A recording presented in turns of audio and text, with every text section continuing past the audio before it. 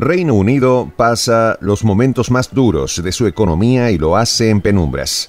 La crisis energética obliga a reducir el consumo por el alto costo de sus facturas que han alcanzado picos históricos, producto de las malas decisiones de sus autoridades. Pero eso no es lo peor. Se estima que cada día un número exorbitante de empresas se declaran en quiebra o despiden masivamente a sus empleados porque no tienen cómo recaudar mayores ingresos para su subsistencia. Un triste final para una nación que cayó en el plan de Biden y que terminó a puertas del tercermundismo. Los detalles a continuación.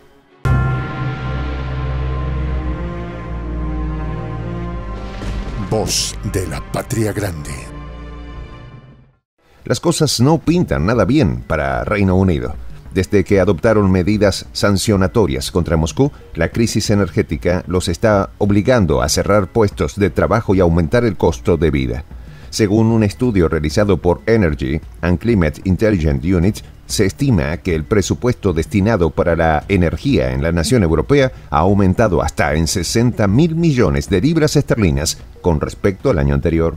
El lamento de estos ONGeros británicos es tal que maldicen el no haber estado preparados para esta situación, asegurando que desperdiciaron valiosos años de su vida y omitieron la posibilidad de construir parques eólicos o instalar bombas de calor en los hogares de los británicos, quienes son los que más sufren en esta catastrófica situación.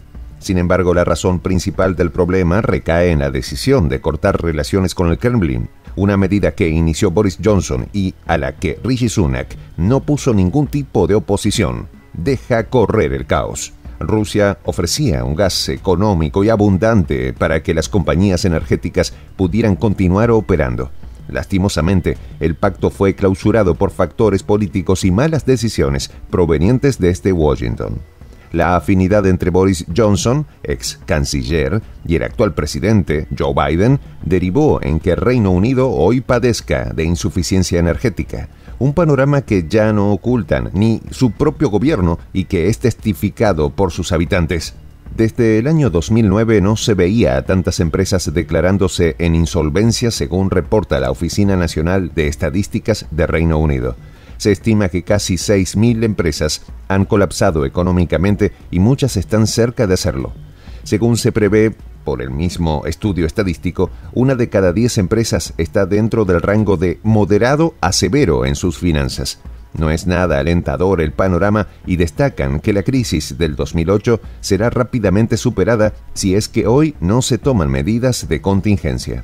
Según el informe elaborado por la Oficina de Estadística, el 22% de las empresas que están a puertas de cerrar manifiestan como único responsable al propio gobierno de su país.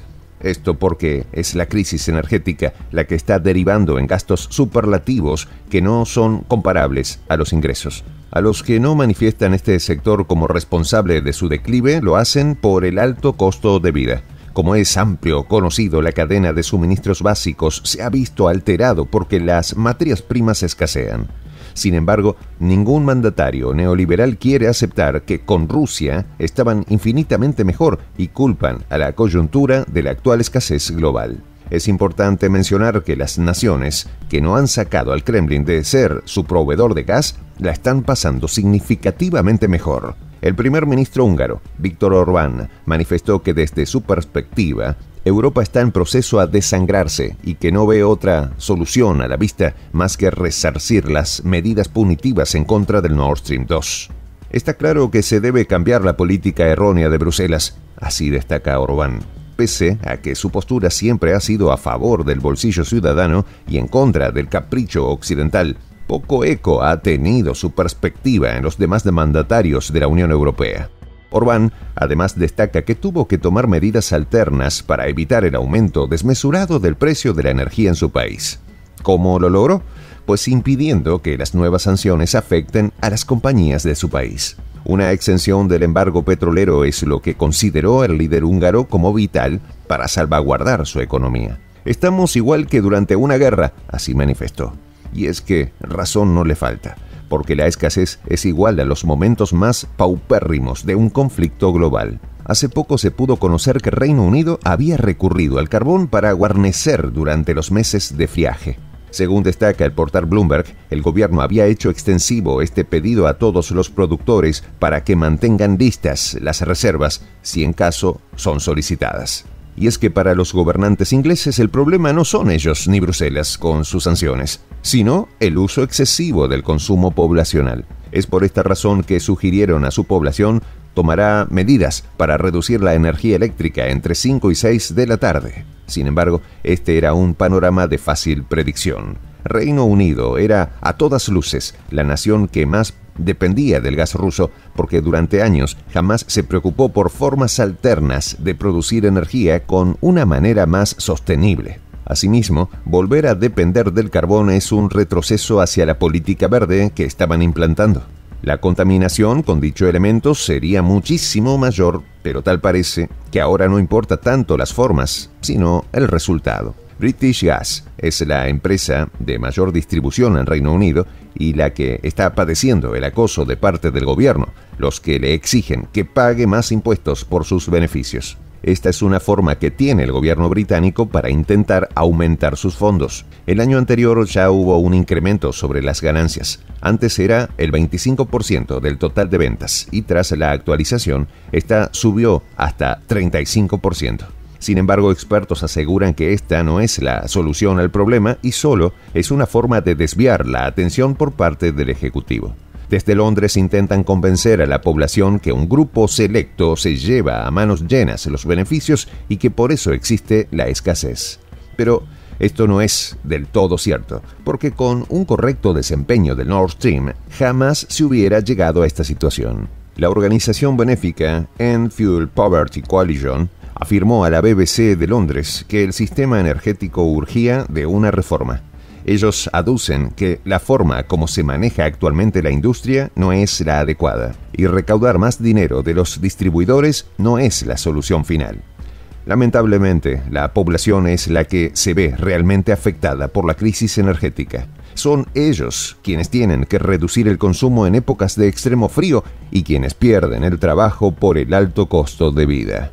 Sin duda, son los estragos de una nación que ha sido secuestrada por el neoliberalismo. Soy el J, Juan José del Castillo, director del canal Prensa Alternativa. Si quieres ser parte de la comunidad de la Patria Grande, suscríbete a nuestro canal. Si es que quieres que te lleguen las notificaciones cada vez que subimos un video, activa la campanita. Si quieres apoyar a nuestro canal económicamente, puedes hacerlo a través de PayPal. El enlace está en la descripción del video. A nombre del equipo de prensa alternativa, me despido con esta expresión en el quechua milenario. Tupananchis Kama, cuya traducción es hasta volvernos a encontrar.